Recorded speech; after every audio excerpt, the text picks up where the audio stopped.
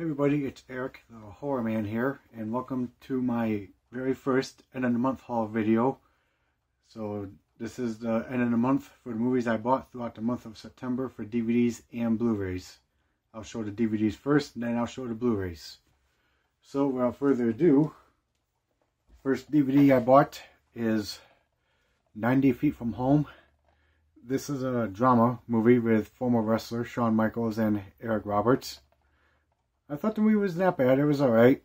About where a former Major League Baseball player returns to his home state of Texas to confront his abusive stepdad before he plans on killing him.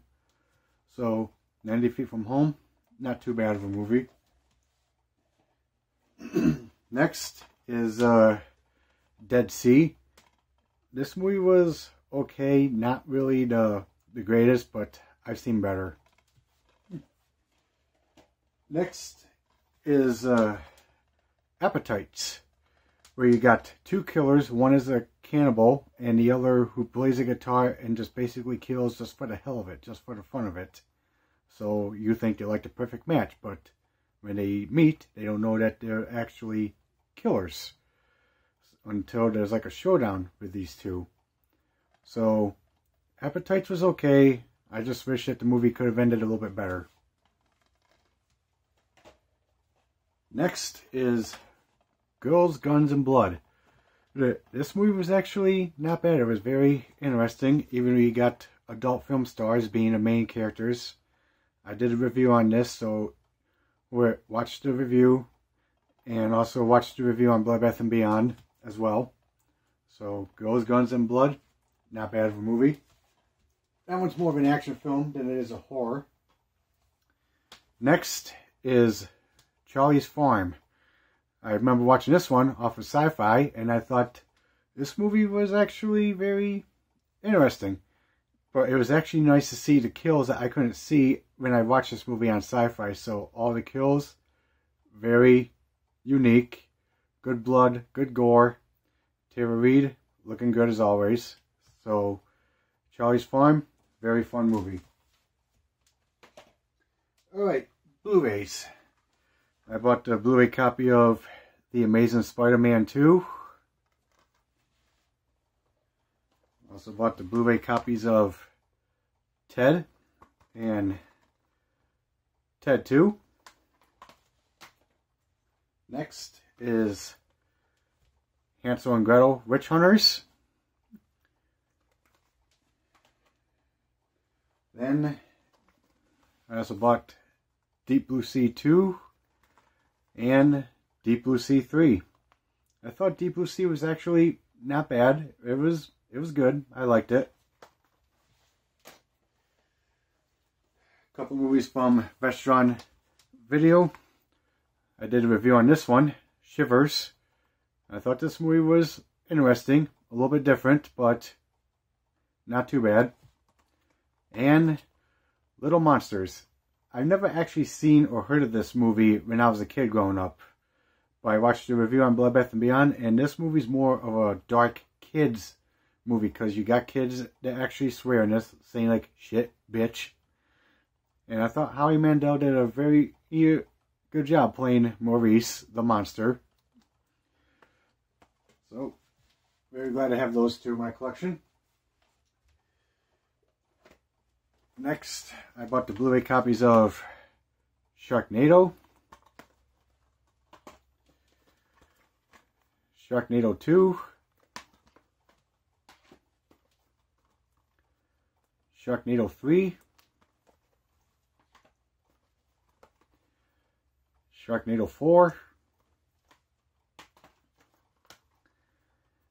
Sharknado 5, and Sharknado 6.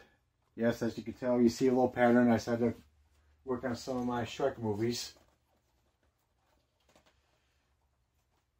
Next, I did a review on this one, and I thought this movie was very interesting, and I was just like, wow. And that's uh, Bus Party to Hell.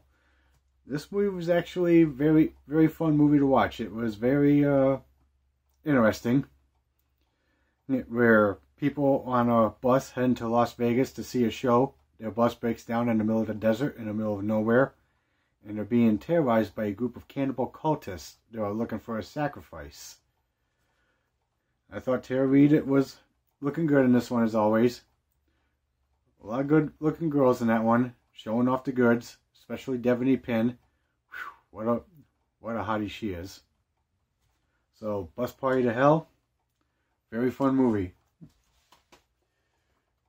And last, for my haul, I bought the, the two disc edition of Big Trouble in Little China. This movie is more of an action comedy than it is horror, with Kurt Russell in it, where he plays a, a wisecracking, tough talking trucker who helps his uh, friend get back his uh, girl after she's been kidnapped, and they battle a 2,000 year old ghost from Marion, his friend's girl, because she's got green eyes. So he's looking to become flesh again by marrying a woman who's got green eyes. So, Big Trouble in Little China, very fun, classic action movie. Yeah, some parts are pretty funny, especially with Kurt Russell firing off a gun and chunks of the roof fall off and clunks him in the head until he, and he's like laid out for a little bit. So, Big Trouble in Little China, very fun movie. Alright guys, so that's it for my haul for the month of September. I didn't want to take up too much time because uh, whatever movies I show, pretty much almost everyone in America has heard or seen these movies. And I didn't want to take up too much time. So, if there's any movies you liked that you saw in this haul, please let me know in the comments down below. Like and subscribe to the channel. And I'm actually going to try to do the 31 Days of Horror since my friend Matt has been doing them for quite some time. I'm actually going to try to see if I could do one of my own. So it's going to be a challenge, but I'll give it a try, see how it is. So again, and if you like this haul, please let me know in the comments down below if there's any movies you liked that looked interesting or good to you. Please let me know. And again, sorry for going so fast because I don't want to take up too much time.